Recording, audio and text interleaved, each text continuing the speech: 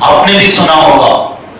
سب سے اہم سبب فراغت اور فرصت کے اوقات کا مہیا ہونا۔ گھر میں کوئی کام ہی نہیں۔ جوان دن بھر خالی رہتا۔ آپ نے بھی سنا ہوگا اردو کا جملہ۔ خالی ذہن شیطان کا گھر ہوتا۔ خالی ذہن یہ شیطان کا گھر ہوتا۔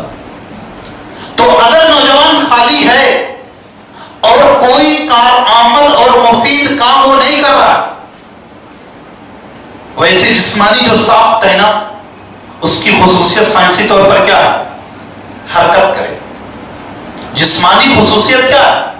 حرکت کرے۔ ایک دن آپ گھر پہ رہ جائیے، چوبیس گھنٹہ، پھر دیکھیے آپ کو کتنا بوجھ محسوس ہو جنسانی جسم کی خصوصیت کیا ہے؟ حرکت کرنا۔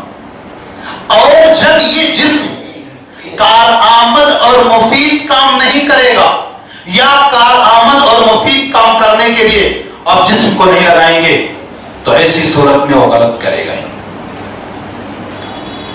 تو یہ گارجینس جو سوچتے ہیں نا، چلو ابھی آج خالی ہے، ٹہلنے دو۔ تو یہ فرصت کا خاص طور سے نوجوانوں کا۔ یہی ان کے لیے سب میں قاتل ہے۔ خود نبی اکرم صلی اللہ علیہ وسلم نے فرمایا، صحیح بخاری کی روایت ہے، نعمتان مقبول فیہما کثیر من الناس الصحہ والفراغ۔ نبی صلی اللہ علیہ وسلم نے فرمایا، کہ دو نعمتیں ایسی ہیں کہ اکثر لوگ ان کے بارے میں خسارے اور گھاٹے میں یعنی دو نعمتیں بندے کو اللہ کی طرف سے ملی ہوئی، لیکن بندہ ان کا صحیح استعمال نہیں کر رہا۔ بندہ ان کی قدر و قیمت نہیں پہچانتا۔ جب یہ نعمت بندے سے چھن جاتی ہے، تب اس وقت بندے کو احساس ہوتا ہے کہ اس نعمت کی اہمیت کتنی زیادہ تھی۔ ایک کیا فرمایا؟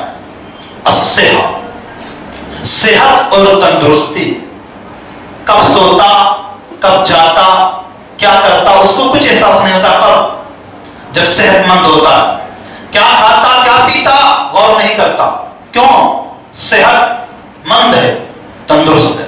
لیکن جب یہی بندہ بیمار ہوتا ہے، تب اس کو سمجھ میں آتا ہے کہ صحت اور تندرستی کی کیا اہمیت تھی تو نبی نے فرمایا، دو نعمتیں ایسی ہیں کہ جن کے بارے میں اکثر لوگ کھاٹے ایک تو صحت اور تندرستی۔ اور دوسری چیز ہے الفراغ۔ خالی اوقات، فرصت کے اوقات اور فرصت کے لمحات جو بندے کو ملے، اس کو ویسے ہی ضائع کرتا۔ جب وہ مشغول ہوتا ہے، تب اس کو سمجھ میں آتا ہے کہ ان فرصت کے لمحات کی اور فرصت کے ان اوقات کی کیا اہمیت تھی اور کیا قدر و قیمت۔ تو ماں باپ کے ہونے کے ناطے ہماری یہ ذمہ داری بنتی کہ اپنے نوجوان بچوں کو کسی نہ کسی جائز اور مباح کام میں اور کارآمد کام میں مشغول رکھیں۔ اگر وہ مشغول رہیں گے تو اچھا کام کریں گے۔ اور آپ کو ایسے سوچے چلو فرصت ہے، ٹہلنے دو۔ تو وہ ٹہلنے دو تو کہیں بھی ٹہل سکتے، وہ کہیں بھی جا سکتے۔ تو نوجوانوں کی بگاڑ کی ایک اہم وجہ فرصت اور خاص طور سے اس دور میں فرصت کے لمحات کچھ زیادہ ہی میسر